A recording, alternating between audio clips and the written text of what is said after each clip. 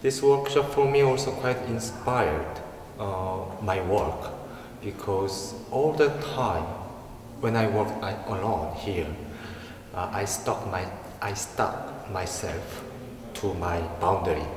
It means my physical language.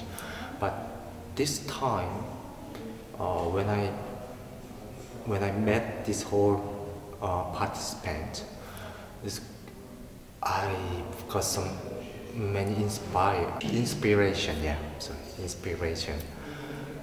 So maybe I will develop also from part of their uh, some suggestion, some body, uh, body language or whatever, some intention. During the workshop, it was kind of communication each other, not teacher, not student, not like this. Actually, I don't like this kind of way of uh, workshop. More, more like sharing each other. Welcome to